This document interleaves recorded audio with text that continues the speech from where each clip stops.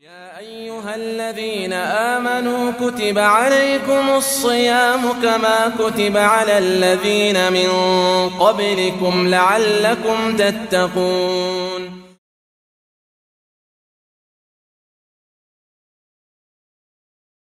بسم الله الرحمن الرحيم. الحمد لله رب العالمين. والصلاة والسلام على أشرف الأنبياء والمرسلين. نبينا محمد وآله وصحبه أجمعين أما بعد mes chers frères, mes chères sœurs, Assalamu alaikum wa rahmatullahi wa barakatuh. C'est un plaisir de vous retrouver en ce 23e jour du mois de Ramadan pour une 23e intervention. On implore Allah subhanahu wa ta'ala afin qu'il nous assiste pour nous faciliter de l'adorer, de l'évoquer et d'être voué, de vouer toute forme de culte à lui seul avec toute la sincérité qu'il se doit. Aujourd'hui, mes chers frères, ce rappel que je vais vous faire, il sera assez bref. Je tiens tout d'abord à remercier les frères et sœurs qui ont participé à la sensibilisation que nous avions évoquée, que nous avions faite dans les jours précédents concernant le fait de venir en aide aux mosquées, aux associations. Je tiens à remercier encore une fois les frères et sœurs qui ont participé en faisant des dons, mais également ceux qui sont engagés à faire des dons mensuels. L'objectif, comme je l'ai évoqué précédemment, ce n'est pas seulement de faire des dons de temps à autre. C'est très bien de faire des dons de temps à autre. Mais notre objectif, c'est vraiment des engagements sur du long terme, des mensualités, des dons mensuels continus sur le long terme. Euh, on aurait pu faire comme beaucoup de mosquées, beaucoup d'associations, faire une cagnotte en ligne pendant le mois de Ramadan. Mais notre objectif, ce n'est pas uniquement faire des dons pendant le mois de Ramadan.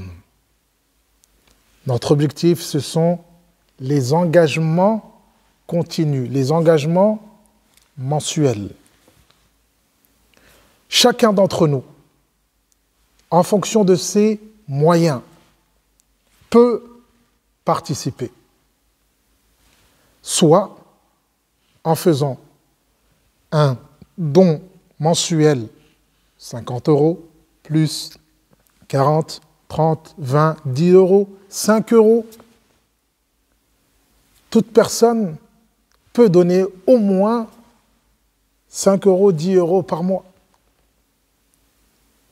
On ne s'en rend même pas compte qu'on a fait un don, mais pourtant ce don, si on se met à plusieurs, il est très important et il contribue énormément.